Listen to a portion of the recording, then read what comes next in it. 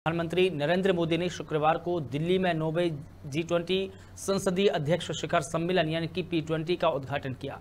इसकी थीम, एक पृथ्वी, एक परिवार, एक भविष्य के लिए संसद रखी गई है। कार्यक्रम को संबोधित करते हुए प्रधानमंत्री मोदी ने कहा कि पी ट्वेंटी समिट उस भारत भूमि पर हो रही है, जो मदर ऑफ़ डेमोक्रेसी है। यह समिट एक प्रकार से दुनिया भर की संसदीय प्रथाओं का महाकुंभ है। कार्यक्रम में 25 देशों के प्रेजाइडिंग ऑफिसर और जी ट्वेंटी सदस्य देशों के 10 से डेप्यूटी स्पीकर शामिल हुए। हालाँकि खालिस्तान विवाद के चलते कनाडा की स्पीकर रेमेंडे गेगने कार्यक्रम में शामिल नहीं हो सकी है। प्रधानमंत्री ने कहा कि आतंकवाद को लेकर हम सभी को सख्ती बरतनी होगी। आतंकवाद की परिभाषा को लेकर आम सहमति न बन पाना दुखद है।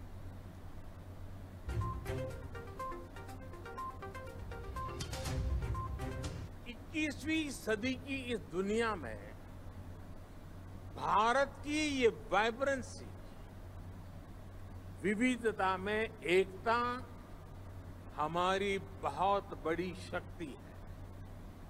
ये वाइब्रेंसी हमें हर चुनौती से लड़ने की, हर मुश्किल का मिलकर समाधान करने की प्रेरणा देती है। फ्रेंड दुनिया के अलग कोनों में जो कुछ भी घट रहा है, उससे आज कोई भी अछूता नहीं है।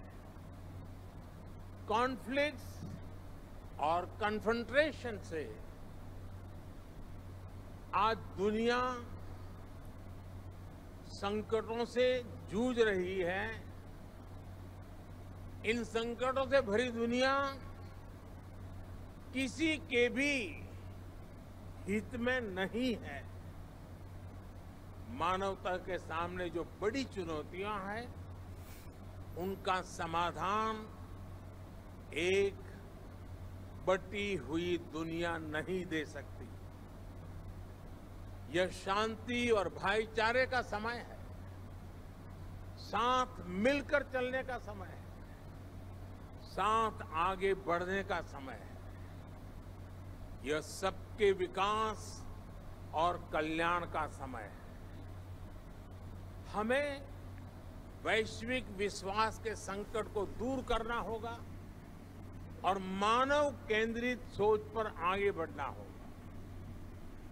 हमें विश्व को one earth, one family, one future की भावना से देखना होगा। दुनिया से जुड़े फैसले लेने में भागीदारी जितनी अधिक होगी, उतना ही बड़ा इम्पैक्ट होगा।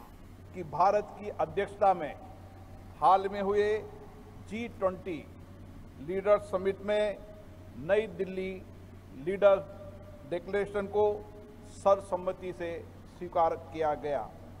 ये भारत के माननीय प्रधानमंत्री नरेंद्र मोदी जी के प्रभावशाली नेतृत्व एवं वैश्विक दृष्टिकोण को दर्शाता है। ये वैश्विक चुनौतियों पर जी ट्वेंटी देशों की एकजुटता और प्रतिबद्धता का भी प्रमाण है। एक्सेलेंसी नवा पी ट्वेंटी सम्मेलन, लोकतांत्रिक मूल्यों, अंतर्राष्ट्रीय सहयोग तथा वैश्विक महत्व के विषयों एवं समकालीन चुनौतियों के समाधान के साझा संसदीय प्रयासों के लिए हमारी प्रतिबद्धता को दर्शाता है। लोकतंत्र हमारी सबसे अमूल्य विरासत है। लोकतंत्र हमारी जीवन शैली में, हमारे आचार में, हमारे विचार में, व्यवहार में है। एक तरह से ये हमारी संस्कृति और संस्कार में आत्मसात है। इसलिए जब हमारा देश आज़ाद हुआ था, तब स्वाभाविक रूप से हमने संसदीय लोकतंत्र को अपनाया। वस्तुत, लोकतंत्र हमारे शासन तंत्र की पारदर्शिता और जवाबदेही का मूल आधार है। एक्सेलेंसी, विशालता विविधता और बहुलता भारत के लोकतंत्र की पहचान है। हमने पिछहत्तर वर्ष के लोकतंत्र की गौरवशाली